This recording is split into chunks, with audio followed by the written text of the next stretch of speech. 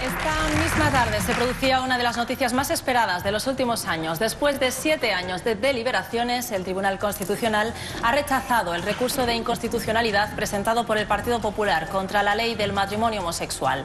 El matrimonio gay sí es constitucional. ¡Sí! ¡Por fin! ¡Abrázame, Sandra! Bueno, si quieres te abrazo, pero te recuerdo que no soy un hombre. Es verdad. Es lo que le falta para ser la mujer perfecta. En fin, podríamos decir que es un momento histórico. Podríamos decir que se ha hecho justicia. Podríamos decir que es una ignominia blandir la Constitución para recortar derechos.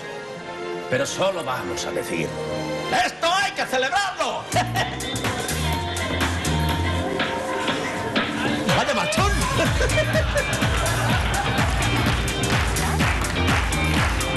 Wyoming! ¿Que te abrace? ¿No has oído ese asunto? ¿No ves que este abrazo me puedo enamorar? Gaititas, ¿qué haces así vestida como una mamarracha? Soy la libertad guiando al pueblo gay. Todo el que siga mi luz llegará a la tierra prometida. ¡Chueca! Chicos, chicos, chicos, chicos, basta ya de fiesta que tenemos un programa que hacer. Venga, déjame tranquilo. Qué idiota. Ahora que estamos de subidón. Venga, vete empezando tú.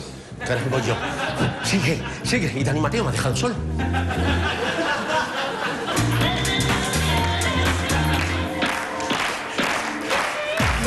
Seguimos. La histórica decisión del Constitucional se ha tomado por ocho votos a favor y tres en contra. La resolución es trascendental para los más de 22.000 matrimonios homosexuales que hay en nuestro país porque garantiza definitivamente algunos derechos importantísimos que en caso de haberse aceptado el recurso del Partido Popular podrían haber peligrado, como por ejemplo el derecho a la pensión de viudedad, el recibir la parte legítima de la herencia, el de custodia compartida de los hijos, el permiso de trabajo por enfermedad del cónyuge o disfrutar de la cobertura médica del seguro de la pareja. Bien, estas son cosas que la gente no se plantea cuando se casa, pero luego traen muchos problemas. En mi última relación, mi chica se empeñó en quedarse con todas mis boas de plumas. El recurso del PP ante el Constitucional vino motivado por la presión de la jerarquía de la Iglesia Católica y del ala más conservadora del partido y se justificaba con argumentos puramente semánticos, como que el diccionario de la Real Academia de la Lengua define el término matrimonio como la unión de hombre y mujer concertada mediante determinados ritos o formalidades legales. Donde no distingue tanto el PP es en la palabra impuestos. Les da igual que los pague un gay que Nacho Vidal. Sin embargo, el pasado mes de junio la RAE añadió que en determinadas legislaciones el matrimonio es la unión de dos personas del mismo sexo concertada mediante ritos o formalidades legales para establecer y mantener una comunidad de vida e intereses. Claro, es que el PP en realidad no tenía nada contra el matrimonio gay.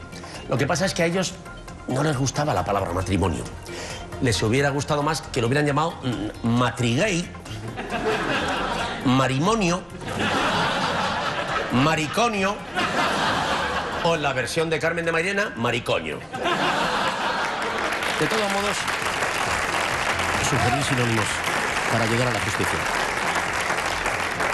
Gracias. De todos modos, si el PP es tan partidario de lo que diga la Real Academia, ellos deberían cambiarse el nombre. Técnicamente son un partido, pero cada día menos populares.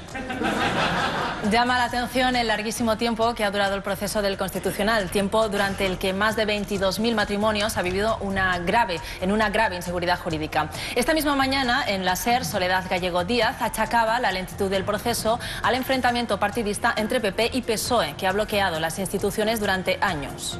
Siete años es un plazo disparatado para que el Tribunal Constitucional se pronuncie sobre cualquier cosa.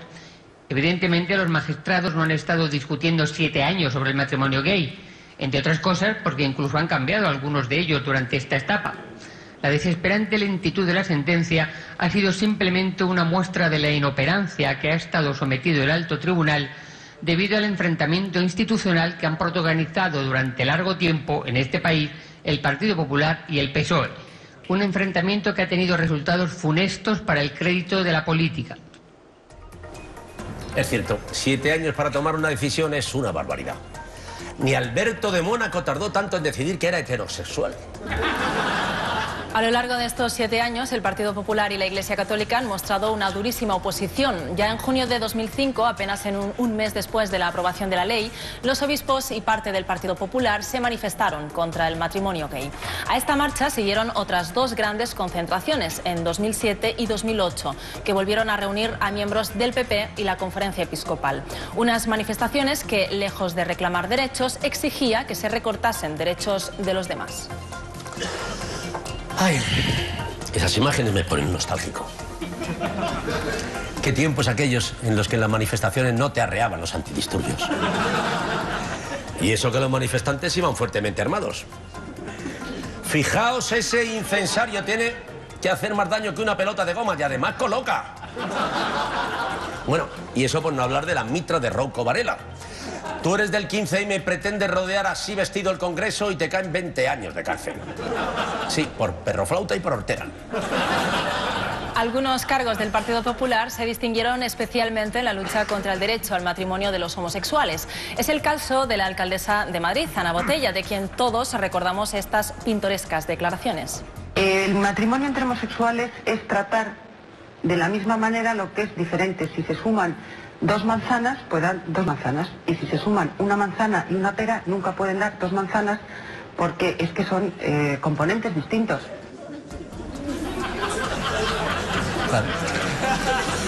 Estas declaraciones demuestran dos cosas. La primera, que Ana Botella jamás ha hecho una Macedonia.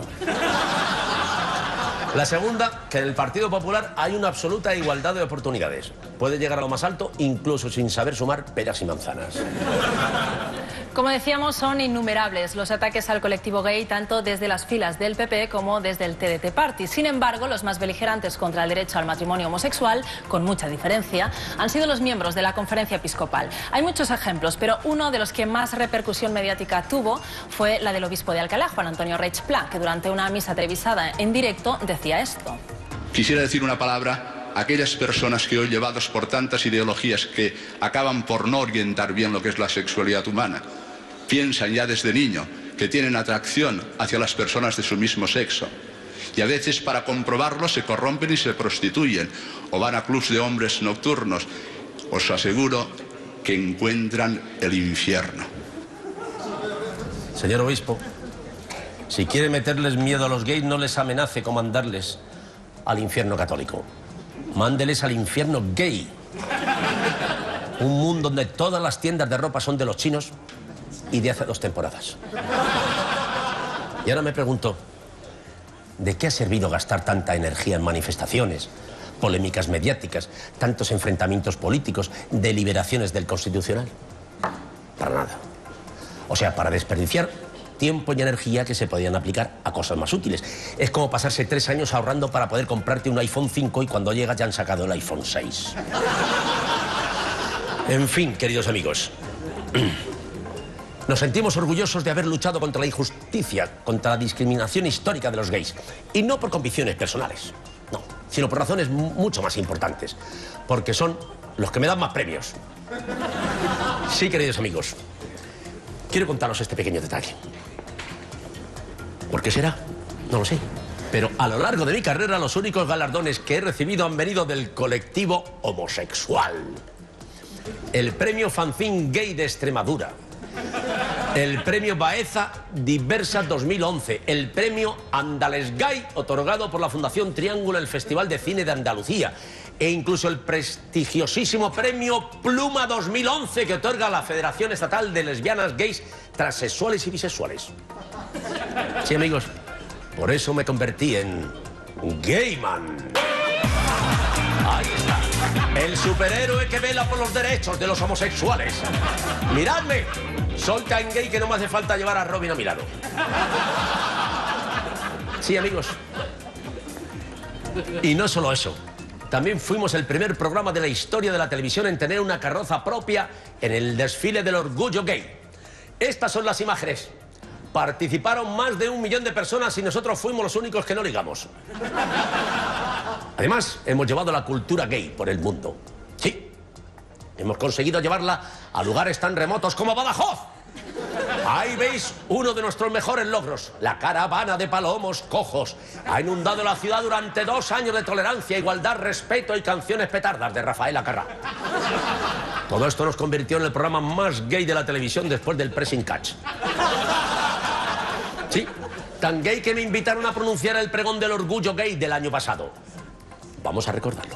Es un honor pronunciar el pregón del orgullo. Mucha gente todavía se pregunta, ¿por qué hay que salir a la calle a expresar públicamente el orgullo de ser lesbiana, gay, transexual o bisexual?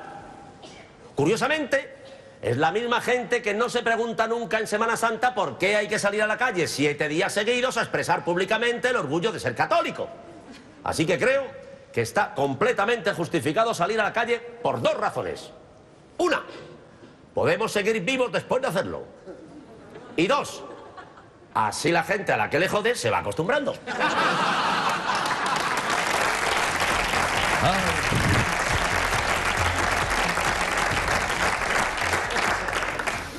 Qué guapo estaba yo con ese traje. Es que el blanco me sienta divinamente. Todo el mundo decía que parecía una novia, la del Papa. En fin, nos satisface mucho que el reconocimiento del Tribunal Constitucional al matrimonio gay haya sido ya definitivo, sí, porque esto demuestra que aunque no somos un buen programa, por lo menos hemos sido legales durante todo este tiempo.